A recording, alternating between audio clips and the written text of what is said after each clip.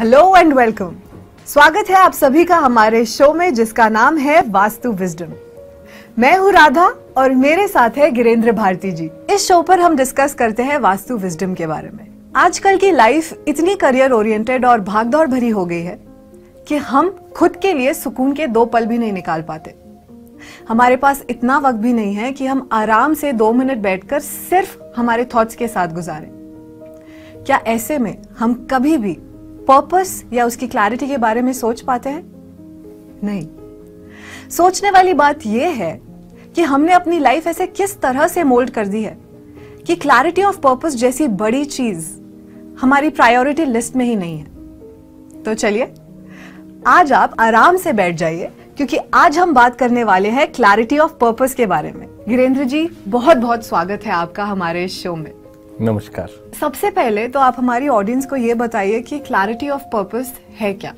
ये टर्म हम क्यों यूज़ कर रहे हैं? और वास्तु विजडम के थ्रू क्लैरिटी ऑफ़ पर्पस का मीनिंग क्या है? जब मेरे पास कोई भी क्लाइंट आता है तो आप इस बात को समझिए कि मोस्टली लोगों की प्रॉब्लम क्या है। कहते हैं जी हमको बहुत सारा पैसा चाहिए। या कोई कहता है जीवन में सुकून नहीं है। अब ये बहुत एब्स्ट्रैक्ट बातें हैं। आपको पैसा चाहिए कितना पैसा चाहिए? हाँ एग्जैक्ट बताइए। किसी आदमी के लिए पाँच लाख रुपए बहुत ज़्यादा है। किसी के लिए पचास करोड़ भी कुछ नहीं है। या आप कहते हैं लाइफ में सुकून नहीं है। किस रेफरेंस में सुकून नहीं है? आपको हेल्थ के रेफरेंस में नहीं है, आपको रिलेशनशिप के रेफरेंस में नहीं है, या आपका मेडिटेशन डीपर नहीं होता। किस पॉइंट ऑफ़ व्यू से आप कहते हैं कि मेरे को सुकून नहीं है? जब भी कोई मेरे पास आता है तो मैं उससे सबसे पहले ये कहता हूँ कि आप इस बात को क्लैरिफाई करें कि आपको एग्जैक्टली exactly चाहिए क्या। मेरा ये कह, कहना है और ये मानना है हमेशा से सिर्फ़ दो क्वेश्चन पूछने जैसे। वो ये है कि मुझे क्या चाहिए?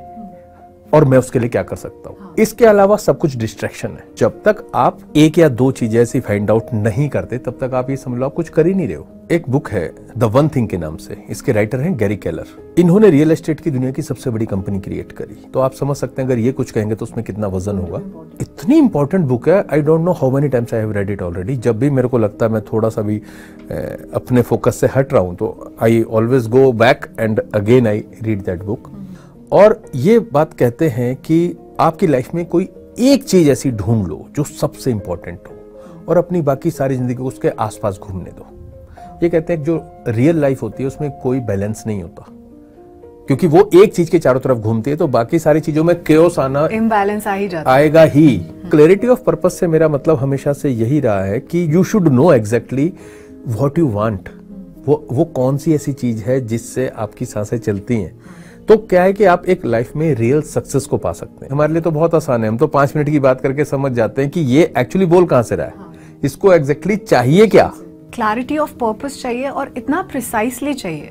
क्योंकि ज़रूरी नहीं है कि आप पूरी एक किताब भर देंगे आपकी लाइफ हम्म। में क्या गोल्स है। जितना प्रिसाइस होगा उतना ही अच्छा होगा। वास्तु विजडम हमें किस तरह से हेल्प करता है in clarity of purpose ultimately Vastu wisdom is nothing but a combination of techniques from the west and from the eastern thoughts from science and from mysticism हम सबको कंबाइन करके कैसा सिस्टम हमने बनाया है जिससे हम आदमी को एक ऐसी लाइफ जीने की तरफ़ प्रेरित करते हैं जो फुल ऑफ़ हैप्पीनेस होती है जब भी हमारे पास कोई क्लाइंट आता है। तो एक टेक्निक है माइंड मैपिंग के नाम से उसको हम इस्तेमाल करते हैं। मैं उसको डिफाइन कर लेता हूँ दो चीज़ों में। नंबर एक प्रॉब्लम क्या है? हाँ। दो तरह के लोग आएँगे ना या तो उनको कोई प्रॉब्लम है। नंबर दो चाहिए क्या? अचीव क्या करना चाहते हो?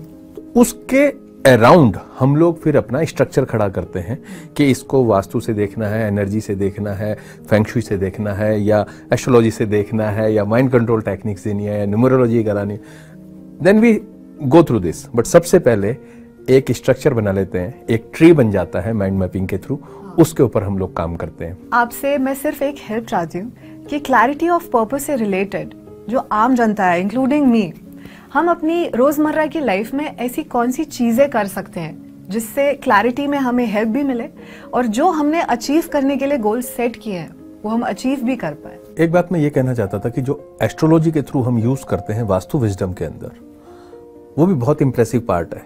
It work like a software for a person आपकी क्या पर्सनैलिटी है, आपकी क्या शॉर्ट कमिंग्स हैं, आपकी क्या खासियत है, जो आपको लाइफ ने देकर भेजी हैं? उनका आपको पता चल जाए, आपको पैसा कहाँ से आने वाला है, आपको पेन्स कहाँ से आएँगे, आपको गेंस कहाँ से आएँगे, आप क्या प्रोफेशन करने वाले हो, कौन सी चीज़ों से आपको दूर रहना चाहिए, किस कलर के कपड़े आपको पहनने चाहिए, आपको कौन से जेम स्टोन्स पहनने चाहिए, किन चीज़ों को अपने से दूर रखना चाहिए, क्या नंबर्स आपके लिए फेवरेबल है। यहाँ तक कि आपके मोबाइल में डिस्प्ले इमेज कौन सी होनी चाहिए, हम यहाँ तक की क्लैरिटी देते हैं। तो हम वो कौन सा प्लानट एक्टिवेट करें कि वो हमको हेल्प करे। तो that is another way astrology is another way to give clarity to a person कि भाई एग्जैक्टली exactly आपको क्या करना चाहिए। एक बहुत अच्छी टेक्निक है गोल सेटिंग की। इसके अंदर इसको रशियन डॉल टेक्निक बोलते हैं। आपने रशियन डॉल अगर देखी हो कि एक बहुत बड़ी डॉल होती है, उसके अंदर एक छोटी, उससे छोटी उससे छोटी, एक ही डॉल के अंदर होते हैं तो आपको क्या करना है? सबसे बड़ी डॉल को मान के चलना है आपका एक साल का गोल तो आपको आज रात को बैठकर ये लिखना है कि आज से ठीक एक साल बाद मैं अपने आप को किस जगह देखना चाहती हूँ? मेरा क्या बैंक बैलेंस होगा? मेरा क्या फ़िज़िकल स्ट्रक्चर होगा? मैं किसके साथ रह रही होंगी? वो मेरा घर कैसा होगा? Whatever you want to visualise एक साल बाद का आपको मास्टर विजन लिखना है। उसके बाद आपको उसके छोटी डॉल को पकड़ना है छह महीने बाद की। फिर आपको ये लिखना है छह महीने बाद। उसी के सिक्वेंस में ऐसा क्या होगा जो मैं पा चुकी होंगी? फिर आपको थ्री मंथ्स पे आना है फिर आपको वन मंथ पे आना है फिर आपको वन वीक पे आना है फिर आपको कल पे आना है। तो आपकी पाँच या छह डॉल्स इस तरह से बनेंगी।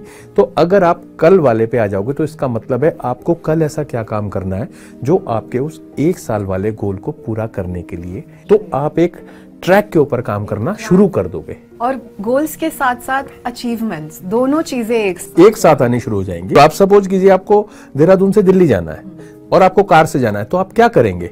आप हर जगह वो रास्ता लोगे जो आपको मिनिमम टाइम में और सेफली आपको दिल्ली पहुँचा दे। ये आपकी चॉइस है कि आप यहाँ पर बैठकर मेरे साथ इंटरव्यू कर रही हैं। अगर आप चाहती तो कुछ और भी कर सकती थी लेकिन जब भी हम एक चॉइस लेते हैं तो हम बाउंड हो जाते हैं उस तरह की लाइफ जीने के लिए।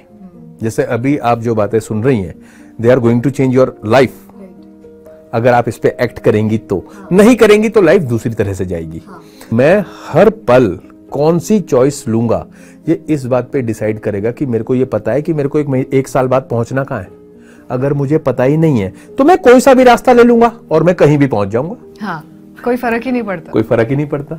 तो इसलिए मैं कहना चाहता हूँ कि आप लोग इस तरह से रशियन डॉल टेक्निक को यूज़ करें और आपको कल से पता चल जाएगा कि मुझे जो भी करना है वो वो करना है जो मेरे उस एक साल बाद वाले गोल तक पहुंचाता हो। Bharti ji thank you so much बहुत ही यूजफुल टेक्निक है.